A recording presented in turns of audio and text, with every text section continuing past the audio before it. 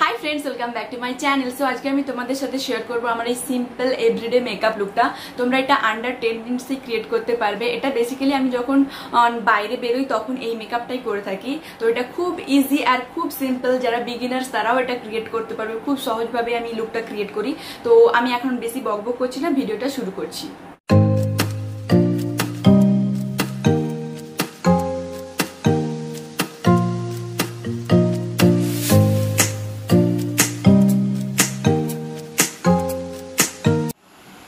Makeup করার আগে কিন্তু আমি ভালো করে ক্লিনিং টোনিং আর ময়শ্চারাইজিং করে নিয়েছি। তারপরে এই ল্যাকমি সিসি ক্রিমটা ইউজ করছি।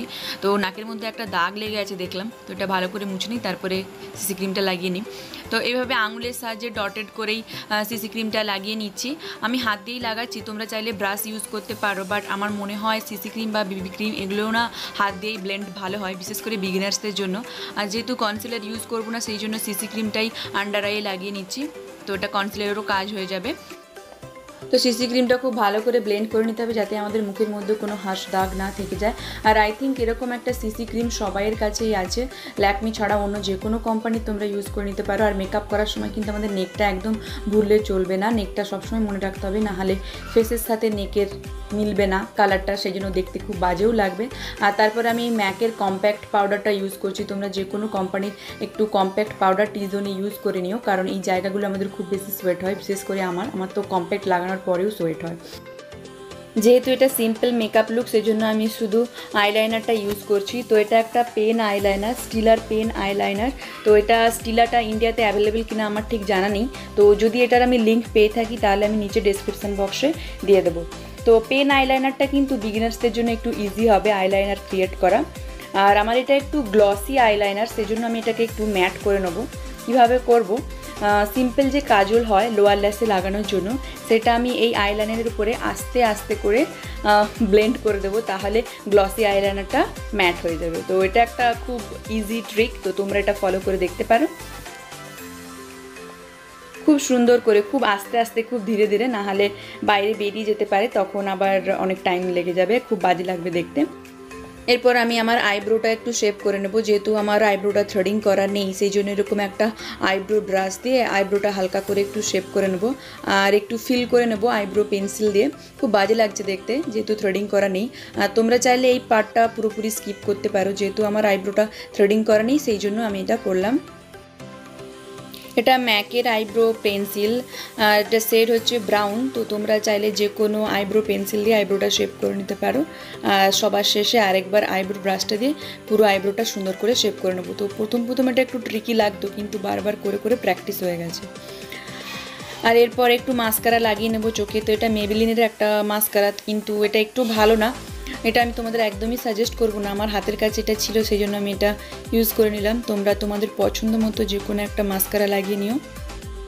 আমার না মাস্কারা খুব ভালো লাগে। আইলাইনার আর কাজলের থেকেও অনেক বেশি ভালো লাগে মাস্কারা এরপরে এই ম্যাকের লিপস্টিকটা আমি ব্লাশ হিসাবে একটু ইউজ করব।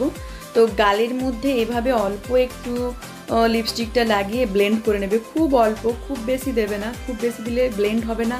আর দেখতে খুব বাজে লাগবে। তো এটা সেভাবে বোঝা যাবে না সিম্পল মেকআপ লুক যেহেতু। তবে হালকা একটু ব্লাশ থাকলে ভালো লাগবে এভাবে ব্লাশ ইউজ করা যায়। আর আমি এখানে এই লিপস্টিকটাই ঠোঁটেও ইউজ করছি, এটা তো খুবই লাইট কালার তো তোমরা তোমাদের পছন্দ মতো যে কোনো একটা লিপস্টিক ইউজ করে নিও। লাইট ডিপ নিউড যে কোনো পছন্দ মতো তোমাদের কালার আর আমার মেকআপ রেডি তবে একটু বাকি আছে, চুলটা ঠিক করতে হবে আমার।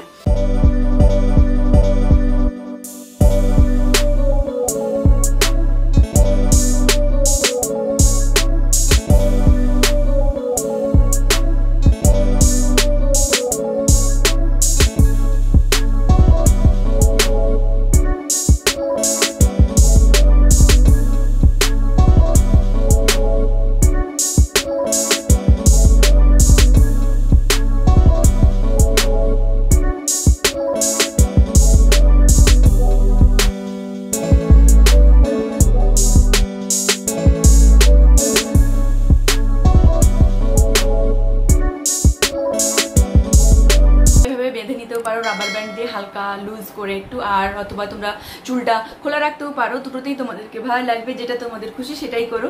আর আই হোপ তোমাদের আজকের এই ভিডিওটা ভালো লেগেছে। ভালো লেগে থাকলে অবশ্যই লাইক করো কমেন্ট করো শেয়ার করো। আর অতি অবশ্যই আমার চ্যানেলটা সাবস্ক্রাইব করে দিও প্লিজ আর তোমরা চাইলে আমাকে ইনস্টাগ্রাম আর ফেসবুকে ফলো করতে পারো। নিচে ডেসক্রিপশনে আমি লিঙ্কগুলো দিয়ে রেখেছি। সো এখানেই শেষ করলাম ভিডিওটা এরপর তোমাদের সাথে আমার দেখা হচ্ছে নেক্সট ভিডিওতে টাটা!